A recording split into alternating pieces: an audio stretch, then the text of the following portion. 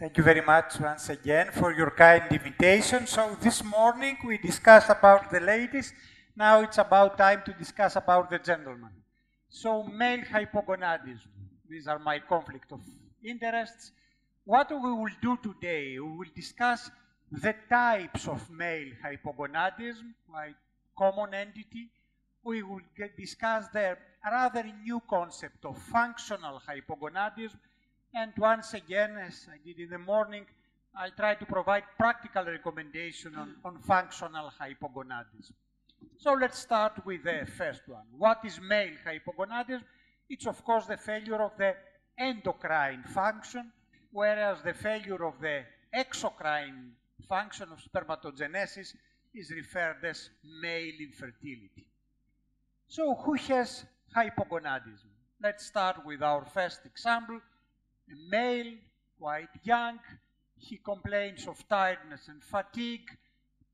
Otherwise, free personal history. He's rather tall, normal weight, lipomastia. We'll discuss about gynecomastia and uh, lipomastia this morning. Small uh, penis, small for sure, undoubtedly testicular volume, and in semen azoospermia. So how would you proceed with this?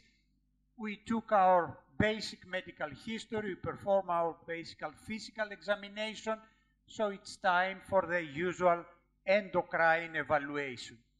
He is undoubtedly hypogonadal with a very low total testosterone. FSH and LHs are not elevated as you would expect. Uh, prolactin is normal. The endocrinologist will investigate the, the remaining of the anterior pituitary. He may even perform a pituitary MRI, no additional findings, and a karyotype is normal. So this is a clear example of a central problem, a problem at the level of hypothalamus or pituitary, a failure at that level, and the archetype disease here is the Kallmann syndrome.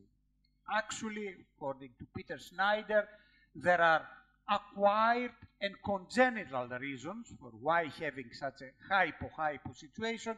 And one, one, once again, the Kallmann syndrome is the main disease here. On the other hand, you can see in this classification that there are hints of functional gonadotropin therapy or the use of some medication. So I will come to this uh, to the third part of my presentation.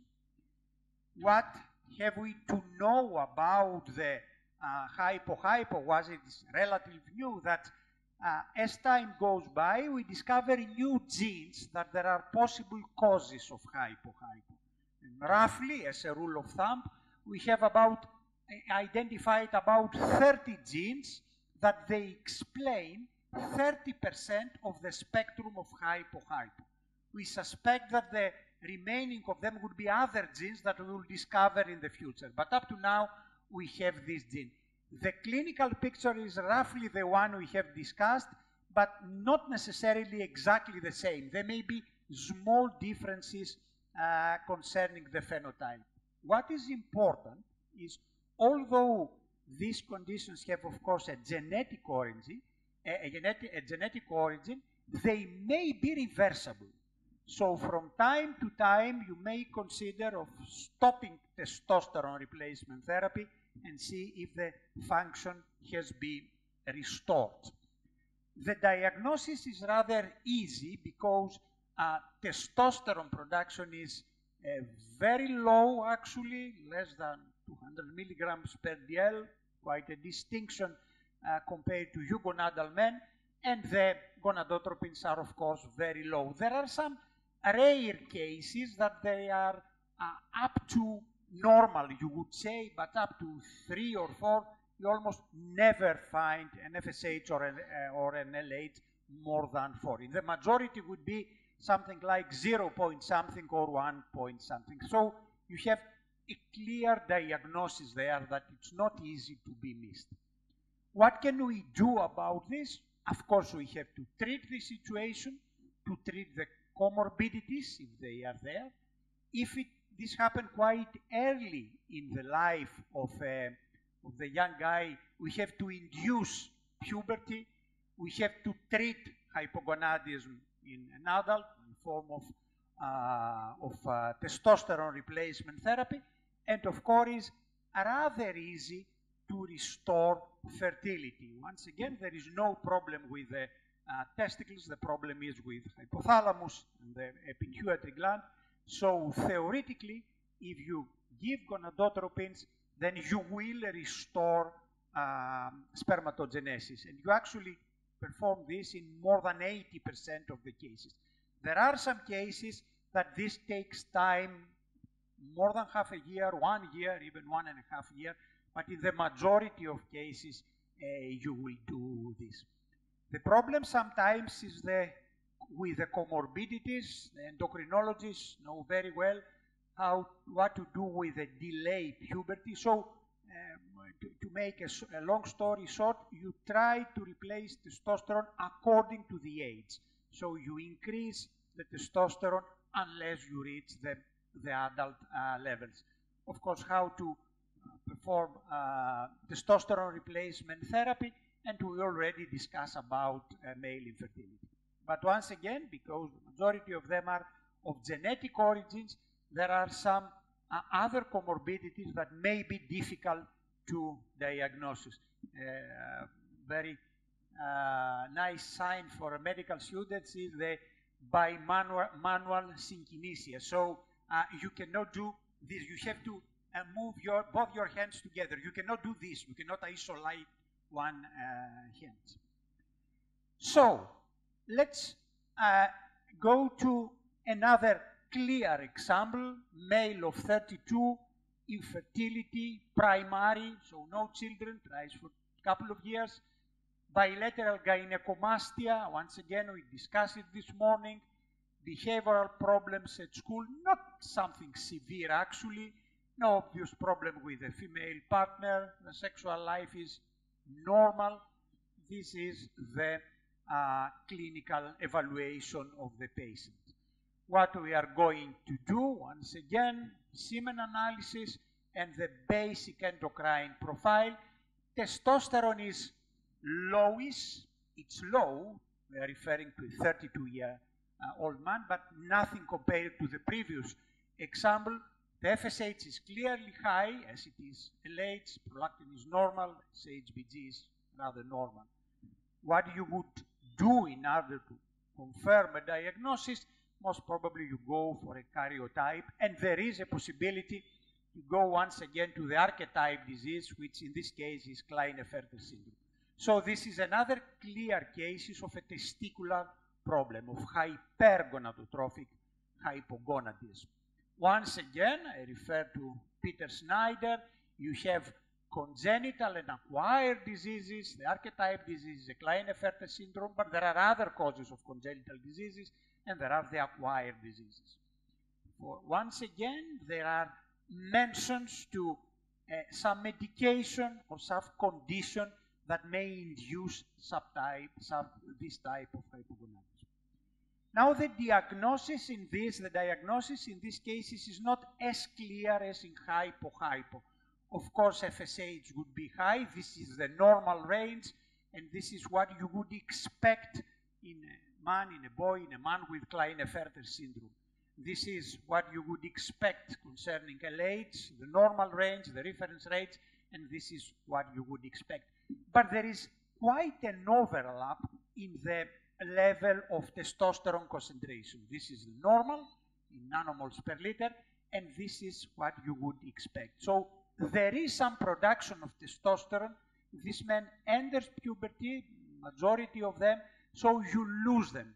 The clinical picture is not as obvious as in hypo-hypo. So you, you may miss an opportunity. We discuss about this. What you are going to do in this situation, once again, you have to treat the patient, to treat the comorbidities, to treat the hypogonadism in terms of uh, testosterone replacement therapy. This is more or less the easy part.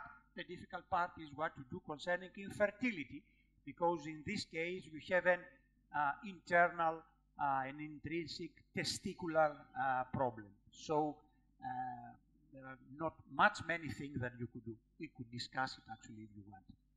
Once again, this is a syndromic situation, so you have some comorbidities.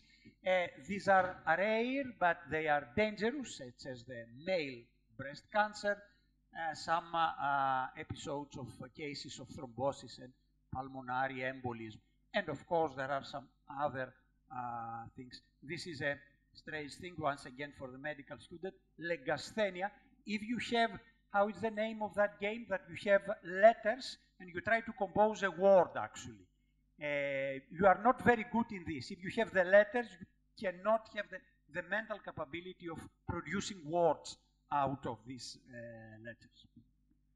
Okay, so we deal so much with the clear-cut cases of male hypogonadism, hyper and the hypogonadism. Now, now let's discuss the concept of functional hypogonadism, and let's take this example. Now we have a male quite older, of 55 uh, years old, but still young. He has some general symptoms such as tiredness and fatigue, and he has some complaint concerning his sexual life, so low libido, erectile dysfunction. He is obese with these characteristics with normal to low volume uh, testes.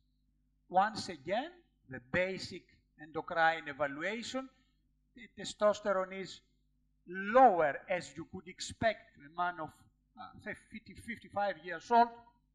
FSH and LH, you would say that they are normal, but if there was no problem from the pituitary, you would expect to be quite higher, so they look normal. Prolactin is normal, SHBG is rather low, and what else you would do?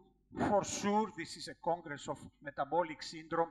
I would have a full metabolic profile, and you can see some disturbed parameters uh, there. So let's discuss a little bit about this functional hypogonadism.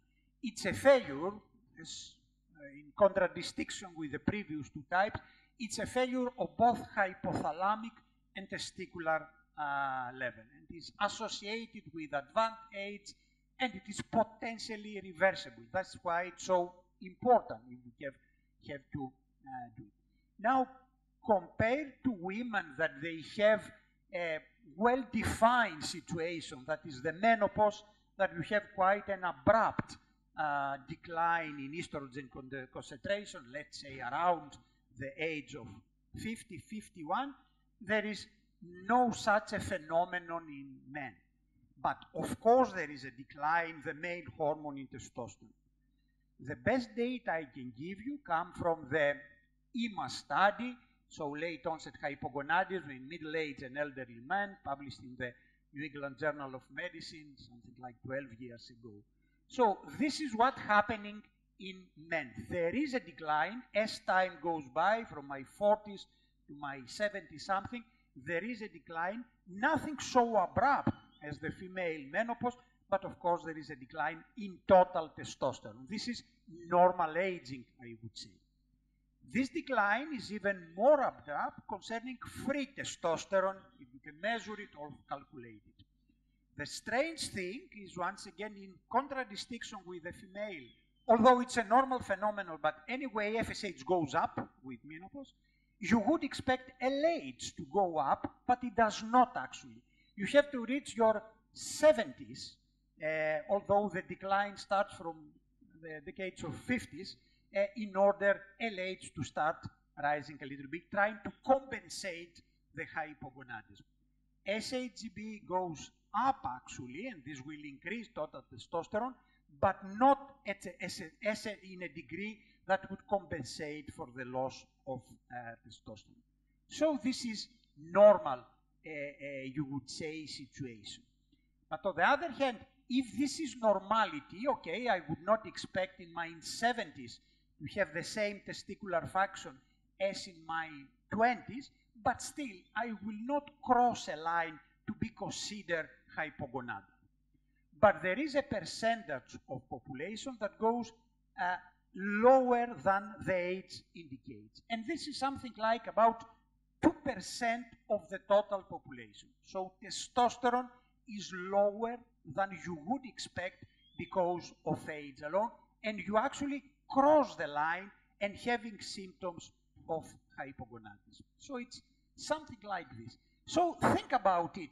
Let's take, let's take as an example my, uh, my city, Thessaloniki, with a convenient population of 1 million. So projected to your uh, cities, many cities in Egypt have a population, even this, uh, even Ismailia, of around a million. So Kallmann syndrome has a reported prevalence of 1 out of 20,000. So you would expect 25 uh, men with Kallmann syndrome in Ismailia. And most probably you will diagnose all of them because it's very prominent. The clinical picture is there. They will not uh, enter puberty and so on.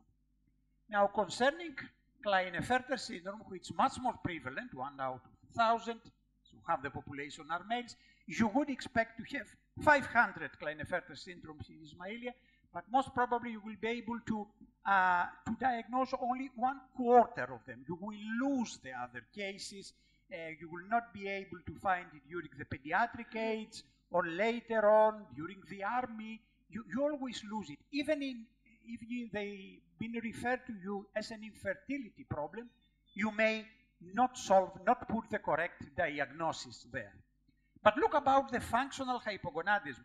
If we stick to the EMAS uh, data of affecting 2% of the population in Ismailia, to go back, you would expect 10,000 of people like this, that they are beyond, below what you would expect for, uh, for uh, their age. So it's quite a prevalent problem and we have to, to do something about uh, this.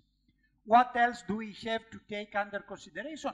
Of course, the metabolic syndrome. It's one of the causes that I'm going to be lower than my age uh, indicate. You may define it in uh, different ways. And look how, how important is obesity alone. These are the same slide I showed you before, but this time is according to the BMI. So the first over there, the first curve is normal BMI, these are overweight men, and these are obese men. So look what is happening. If I am in my fifth, so this is the curve for the, uh, once again, for the normal weight men, and this is for the obese men.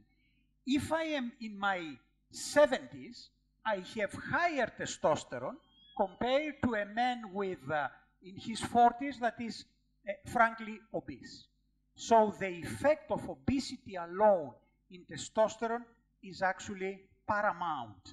And this is something that you have to, uh, to, uh, to know it. And now, nowadays, we know the pathophysiology behind it. We know that the axis does not start from the pituitary, so FSH, LH, and testosterone production, but it starts, of course, in the hypothalamus. So before GnRH, you have other molecules such as NPY and KISS1. And actually, the whole axis starts from the periphery, from the adipose tissue. So it's the adipose tissue. When it's full, it produces leptin that acts centrally, centrally in order to, to open the axis. Now, men and women, but men with obesity, they develop an leptin resistance the same way they develop an insulin resistance. So the leptin actually has a resistance, so cannot start, cannot induce the, the, uh, the axis. That's why there is a central level to this functional hypogonadism. And of course, there are peripheral actions. There, are, there is evidence that leptin uh, acts directly to the testis, reducing the production of testosterone. So that's why the functional acts both at a central level, hypothalamus pituitary, and a peripheral level, and this is the rough pathophysiology behind this situation. Now we have good evidence, this is an old publication of ours with Basil Tarlatzis, that there is an interaction with, between metabolic syndrome and testicular dysfunction. So if you have testicular dysfunction, if you are hypogonadism, then your central obesity, for example, is going to be increased. And the opposite is true. If I am obese, especially with central type of obesity, I'm going to be more hypogonadal. So it's a true vicious circle uh, there. So the third type of hypogonadism we are discussing uh, today, it's much more prevalent than the classical one, obesity and other uh, parameters of metabolic syndrome or some medication or some comorbidities contribute independently of the age to this decline of testosterone. And this is actually functional hypogonadism as compared, as opposed to organic and classical causes. Once again, this is potentially reversible because many of the contributing factors for the uh, metabolic syndrome are reversible as uh, well. So the new classification proposed is that, yes, okay, for the primary hypogonadism, so the hypergonadotrophic hypogonadism, you have your organic and acquired causes, but you have your functional as well because of aging, drug-induced, chronic um, uh, systemic illnesses, and so on, the causes that you can see there. The same is true for secondary, for central, for hypo-hypo. You have the usual congenital and acquired causes, but there are the functional as well, and you can see there what's happening, especially concerning obesity, diabetes, and other comorbidities. Now I'm going to the third part, the last minute, uh, providing some practical recommendation on how to diagnose, how to diagnose and how to treat this uh, disease. Let's start with the diagnosis. You need both. You need the clinical symptoms, so you have to ask, you perform your clinical examination, and to uh, verify this with low morning fasting you prefer uh, testosterone. So you need both. The symptoms alone, because they are very generic actually, non-specific, not uh, capable of setting the diagnosis, uh, not even the testosterone alone. You have to need uh, both. And if you want to ask some questions, actually, the most specific questions are the three sexual questions. So, how frequently do you have an, an uh, automatic spontaneous morning erection? I used to have, but not anymore. It's not happening every day, but it's happening in men from time to time. Uh, what about libido, uh, sexual desire, and of course, what about erectile function? So these three sexual questions, they have the best correlation with testosterone level. They are the most specific questions you can ask. Of course, other general questions could be there, the tiredness, the fatigue, and so on, but they are very generic. Almost all diseases can produce these uh, symptoms. So start with this. Don't afraid to ask this question to your man. Of course, clinical examination. If it took Michelangelo two years to construct David, it took me about two hours in the uh, PowerPoint to construct a hypogonadal David, actually, and all the features of hypogonadism, central obesity, uh, lipomastia are um, there. You need a well-validated uh, way of measuring testosterone. Sometimes this is not available. In endocrinology, we always prefer to measure the part the proportion of the uh, testosterone that does the job, and this is the free testosterone, but this is an exception. And it is an exception because it's difficult from a methodological point of view to measure directly uh, free testosterone. So what we usually do is measure total testosterone, it's much easier, and then we correct them by measuring the calculated free testosterone. If you have your SHBG, you can make this calculation is easy. Now, what about treatment? Lifestyle changes, it's, a, it's the same uh, principle that uh, we discussed this morning with women. So I'm going to lose central uh, fat and my testosterone may go up. I'm going to show you some data. If you believe to this interaction that testicular dysfunction may cause more metabolic syndrome, and more metabolic syndrome can produce even more testicular dysfunction, then if you treat one, the other would be benefited as well. Is this true? Well, yes, it is. And this is a meta-analysis by Giovanni Corona saying that if you lose weight, if you lose something like 5 to 10% of your body weight, your testosterone will go up for about 5 nanomoles per liter or 100 if you prefer milligrams per dl. So it's quite a lot. From 200 something, you may go to 300 something, and you are not hypogonadal anymore. So it works. The opposite is true, actually. If you give testosterone, you are going to uh, relieve some, uh, to elevate some parameters of metabolic syndrome. Uh, the total weight will not, change, will not be changed, but this is because you lose fat and you gain lean mass. And this is, of course, a good change. So don't expect to see changes in the uh, total weight or the BMI, but you are going to see some changes in the body composition. Some other parameters, such as uh, glucose profile, and some lipids, may be of benefit as well. We usually use, if it's available, transdermal testosterone. And the majority of the studies use transdermal uh, testosterone for this therapy. We do not use at all nowadays testosterone pills. They are metabolized through the liver. They have very short half-life. So we use either injection every three weeks, play with the interval, or every uh, 12 weeks, if this preparation are available according to the country, or you can use gel or patches, usually gels in the majority of the countries. Now, safety is a very important issue. Is it safe? We have the cardiologist with us concerning the cardiometabolic profile. And of course, I would avoid to give testosterone in a man with uh, untreated prostate cancer or breast cancer. These changes are rare, but you have to check for this. And a patient with severe heart disease. But we have very new data, actually, published just one month ago, the famous TRAVERSE study, that was looking exactly to this.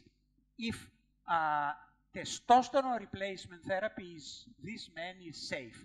So this is the study, something like 5,000 men with functional hypogonadism, so for 45 to 80 years.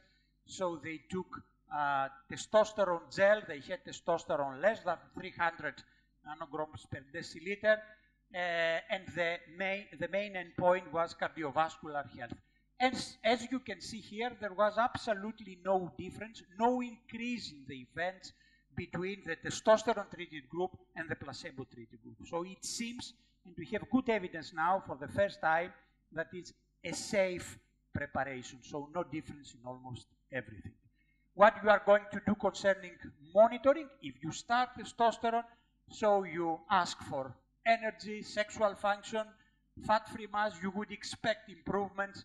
Uh, it will take some uh, more than a year to see a restoration of uh, bone mineral density if it was low because of testosterone. What I'm going to measure, some basic clinical parameters, physical examination, and once again, a basic uh, laboratory evaluation for obvious uh, reasons.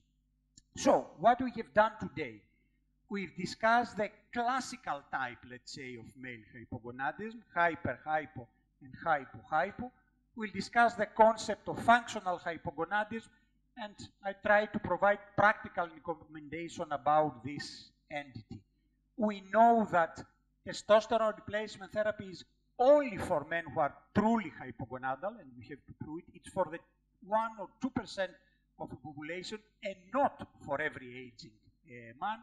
It can be administered actually testosterone in all cases of hypogonadism and it seems to be a safe approach according to the data we have. So you have to select the right patient, you have to inform him and involve him in the decision making, you have to monitor uh, him, it's rather easy monitoring, and you have, you have to collaborate with other health professionals, with your cardiologists, with your urologists, actually, to form the team there in order to uh, uh, deal with this. If you want further reading, uh, this is the American approach, Endocrine Society, concerning hypogonadal man, and this is our approach, if you prefer, the European approach by the European Academy of Andrology.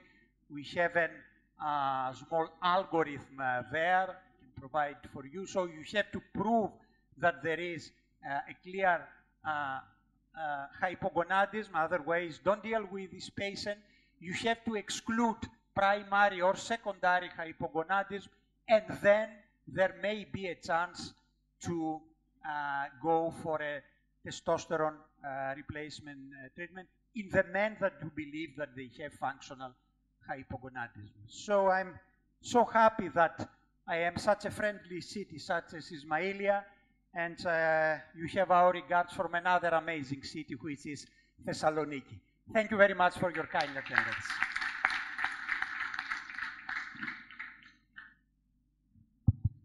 Uh, thank you, Dr. Dimitrios, for your uh, uh, marvelous uh, lecture. Uh, I'm uh, Dr. Ahmed Salim, andrologist and urologist. Uh, I want to ask you about the hypogonadism in, uh, as a cause of infertility. Do you give them direct testosterone replacement therapy or you start with HCG? Uh, also, what about the constitutional growth delay? Okay. Yeah. So concerning the first, the answer is absolutely no. The one case, of course, unless the contraindication, of course, breast cancer and untreated prostate uh, cancer, the one man that you are not going to give testosterone if uh, a man that wants to be a father. Even giving small doses of testosterone, this will actually uh, close the axis, so it will reduce spermatogenesis. So no testosterone in these cases with any form. Uh, uh, you may give, if FSH is not high, you may give some FSH, but not uh, testosterone. You may think of testosterone after he has completed his uh, family. Now, constitutional delay of uh, pregnancy is another question. It's very difficult, as you know, to diagnose what is organic and what is constitutional. And the usual thing that we do in the clinical practice is that if it's a constitutional, of course, you ask for family history. This is the best you can do, actually, if his father was a late bloomer, let's say. Uh, so you take this under consideration. And it's the common practice is if you give testosterone in uh, men with constitutional delay, usually you prime the axis and then you have no problem, you stop and continue. Of course, if it's organic, if you stop testosterone, uh, the puberty will be arrested there. So that's a practical way to make the differentiation. Thank you very much. That you, do you start in constitutional, constitutional growth delay or delayed puberty? Do you start with HCG or direct testosterone? That's another uh, thing that you can you have to consider with the patient. There is one school, let's say, that, that give testosterone starting from low dose according to the age, then increase it and then go to the other. When it's time for uh, the family, when he's 30, let's say, then you can give gonadotropins there at that time because it's not like adrenals that they will forget to produce cortisol. Actually, they always have the ability. There is another school saying that it's good to give LH, combination of LH and FSH, because you are going to increase the testicular size, and this is good from psychological reasons for the young boys. Sometimes they compare their testicles, you know. So this something, and then you, uh, there is some evidence, not the best in the world, that if you increase the testicular size, then you go with testosterone, and the size will uh, diminish as well. But then it's easier when you try again in your uh, in their in their thirties actually to reduce spermatogenesis. So you can do both actually. They are not compared in studies. Uh, I would go for the first as far as the cost is not involved. But actually, giving FSH, it may be costly. But giving HCG, it's not costly. So you can do this. It's, the cost is not very much for giving HCG or uh, uh, LH, actually, and uh, um, have the, this possible additional benefit of increasing the testicular uh, size and having better probability of finding again sperm in the future. Uh, one last question. So we have we are having this trend of using testosterone, uh, testosterone by gymnasts Yeah. uh, to gain more uh, muscle. Okay. Yeah. So uh, actually, they are not using it for replacement. So they give very large doses. Yeah. So. Uh, uh, how much you uh, how long usually it would take to restore the, Yeah. the axis back to normal and if there is any possibility that it will not be restored and Yeah. if there is any uh, standardized regimens to restore uh, uh, the axis back to normal, does this exist? Yeah. Uh, can I have back my, my slides? Is it possible? No, you went to the next one. If it, I have a slide there. I have not the time. And we have the excellent discussion by Professor uh, Halawa this morning. So uh, you, you said everything actually. So I, I had nothing to, to add, but I could you this. Uh, leave it to me. I will find the slide. So you virtually answered it, but it happens, I think, to have a uh, something here for Professor Mislak. Where is the? Can you put it in full screen for me?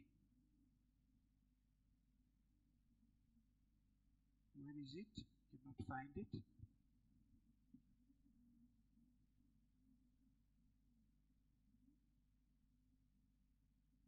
Okay, we found it. So, uh, this is what happened in the normal, let's say, population. Some of them are infertile and they have low sperm count, but the majority they are not.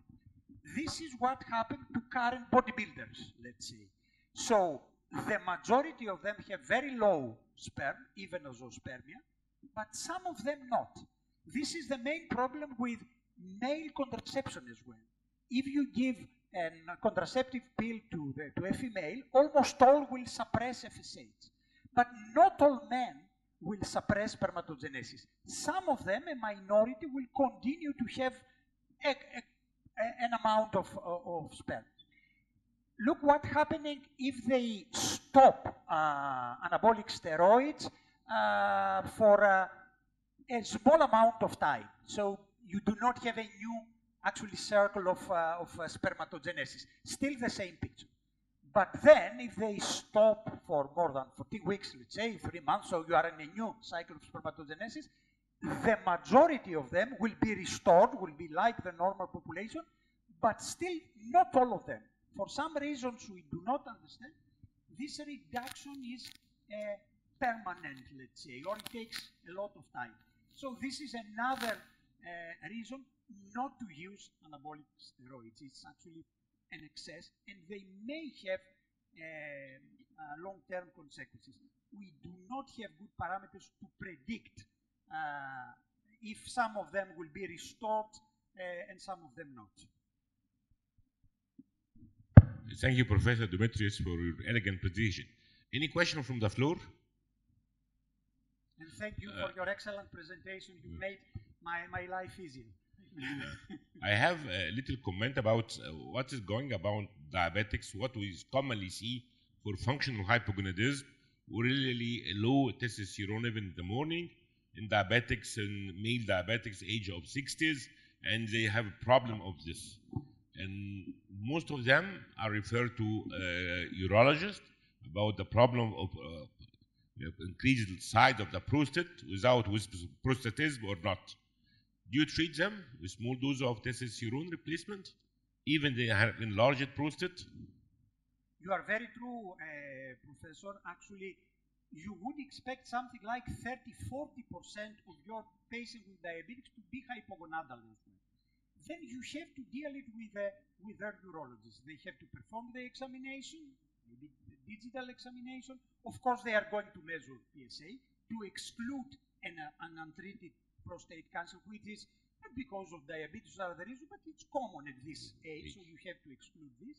And then if there is no excessive symptoms of prostatism, and urologists will say an IPSS more than 19, something like this, so you can measure it, yes, there are candidates uh, for this. And you have to collaborate with your uh, urologist to see if there is an abrupt increase in PSA.